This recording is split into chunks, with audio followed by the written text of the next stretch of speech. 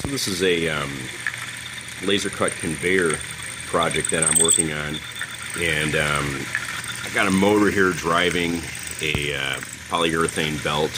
It's not that big, um, but a little bit of pressure gets put on the bushing slash bearings.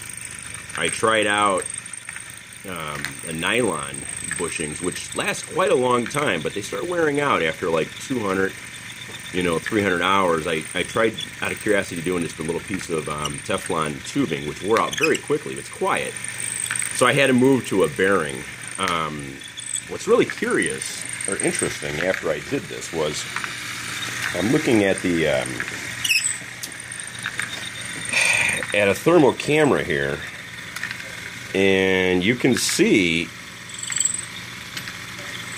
how much heat is getting put off by that nylon bushing, even to the point that it puts a streak down the belt of all that heat. Now, one of these, um, this one over here, I put on a bearing, and look at that. There's the heat from the motor, but there's no heat whatsoever. Um, where I put the bearings in right here. These are put a bearing in right here and right here.